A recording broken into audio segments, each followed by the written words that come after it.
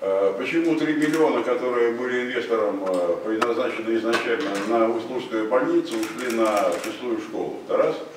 И второе, вы обещали сделать э, парапеты, вернее, подъемы около больницы аптеки в Услужском поселении. Скоро зима кончится. Мы вам обещали, мы это сделаем. А куда ушли деньги эти? Это у вас какая-то ложная информация, ни на какую шестую школу деньги не уходили абсолютно. На- Никаких договоренностей у нас На не было ни с кем. Вам Петербургский филиал э, акционерного общества Ростелеком, который предоставляет услуги телефонной связи э, в Кингисеппском и Кингисеппе, в Кингисеппском районе Кингисеппе. И в данный момент э, мы начинаем опытную эксплуатацию новой технологии в Кингисепп- э, в Кингисеппе только пока. Это так называемая технология FTTV, э, волокно до дома. И в данный момент в городе введены уже 28 домов, и если это интересно, это Жукова 12, 20, Воровского 11, 11А, 17, 19, 21, 31, 33, Большой бульвар 11, 17, первая линия 8, Химиков 4, 8, 9, 10, 14, Криковское шоссе 6, 10, 12, 14, 41, 35 и 27, дробь 50. И Большая Советская 18, 23, 25 и 37, дробь 2. Остаток исполнительных производств составил 32%.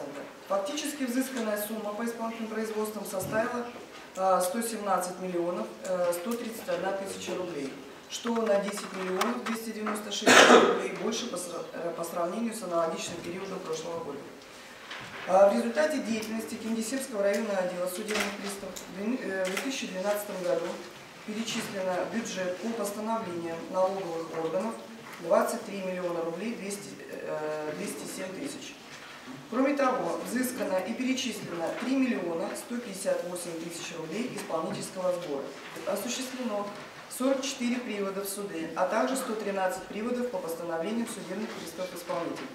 Припровождено в специальное учреждение 18 иностранных граждан и лиц без гражданства, а также выдворено за пределы Российской Федерации.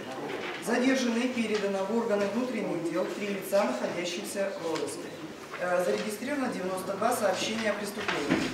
По результатам рассмотрения сообщения о преступлении возбуждено 80 уголовных дел. 76 э, по статье 157 Часть 1 Уголовного кодекса Российской Федерации – это злостная неуплата м, э, алиментов. Одно уголовное дело по статье 315 – это неисполнение э, решения суда руководителями э, организации. Одно уголовное дело по статье, э, два уголовных дела по статье 30 312 это в отношении арестованного имущества противоправные действия. И одно дело по статье 177 Уголовного кодекса Российской Федерации, это неуплата кредиторской задолженности. Пожалуйста, я, если точно понял, 36 миллионов рублей это э, те были э, списки, которые предоставлены по неоплате жилищно-коммунальных Совершенно верно. Собрали вы только 4. Совершенно верно. Ну, по Да? ним ведется Вот работа. там- Причина в чем? Почему вот э, вы считаете, на ваш взгляд, почему все-таки такой низкий процент сбора? 36,4.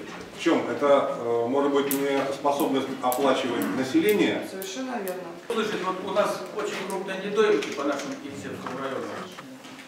Почему так слабо работаете с этими недоимками? Почему не можем взыскать деньги? Такие, они огромные миллионы нам должны. И приставы не работают в этом Почему не направлении.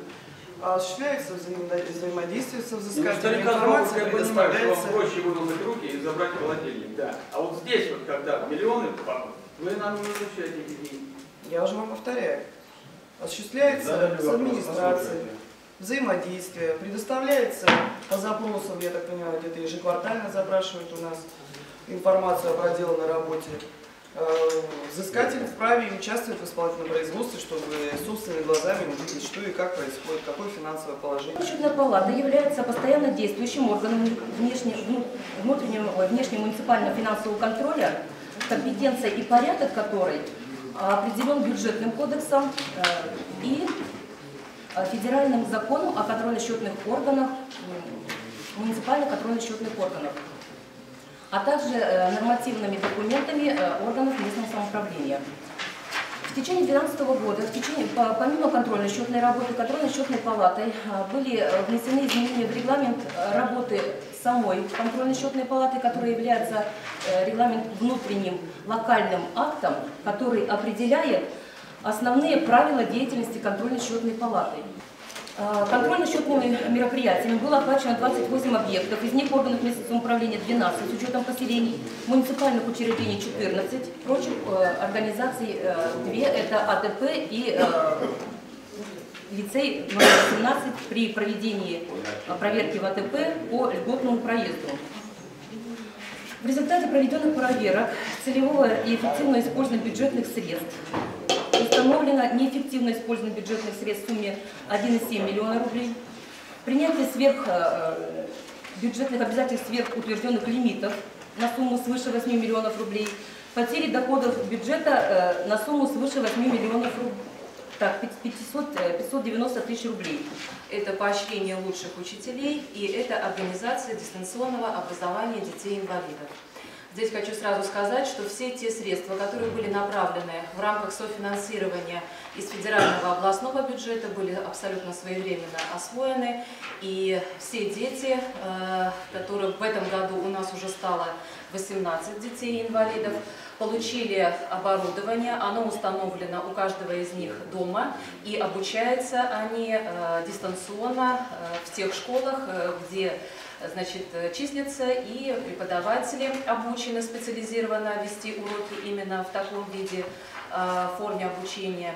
Мы побывали у многих дома, у детей и, соответственно, видели, каким образом э, это обучение производится. Родители очень довольны, потому что мы проводим периодические родительские собрания, то есть в образовательную сферу погружение происходит полностью и этих детей что очень э, радостно для нас, потому что охвачено у нас детей-инвалида дистанционным обучением, и дети получают образование, в том числе и среднее, э, только в стопроцентном объеме. Э, Вот из них 21 человек стали участниками исследовательских проектов и на муниципальном уровне, и на всероссийском есть победы. Это тоже говорит о том, что наши дети погружаются именно в системе образования э, школьного, э, в участие исследовательских научных работах.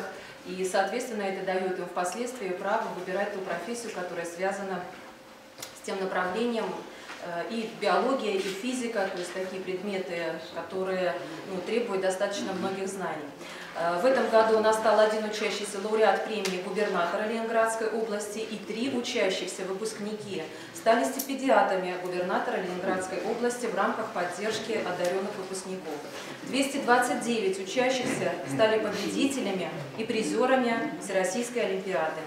51 человек наших выпускников награждены золотыми и серебряными медалями. Вот у нас у всех один вопрос. Сейчас в последнее время, честно говоря, даже за школу российскую обидно, то и гляди показывают избиение детей. Значит, причем по всем каналам. Смотрю. Скажите, пожалуйста, вот, э, были ли за 2012 год факты ну, какого-то насилия, неадекватного поведения учителей к, э, по отношению к детям? Нет, в нашем районе таких фактов не было, но надо отдать должное, что вообще в нашем обществе Российской Федерации в последнее время э, уровень жестокости, он э, ну, поднялся, да, то есть и когда мы смотрим итоги преступлений, не только среди совершеннолетних, но и по взрослых по отношению к несовершеннолетним, как раз таки вот начинается это с тех людей, которые окружают наших детей. Как, на ваш взгляд, в районе роль родителей э, на тот необходимый уровень родительского контроля за системой образования? Да, мы постоянно, кстати, как раз таки надо отдать должное, вот я хотела в дальнейшем это сказать по, по реализации нашей новой школы, вот тот э, уровень открытого информационного пространства, в том числе электронного, который мы ввели и ведем второй год в нашей системе образования, пока это, так сказать, только именно в нашем районе, отличает э, как раз таки родители в, ну, в стопроцентном погружении находятся как участники образовательного процесса вместе с детьми.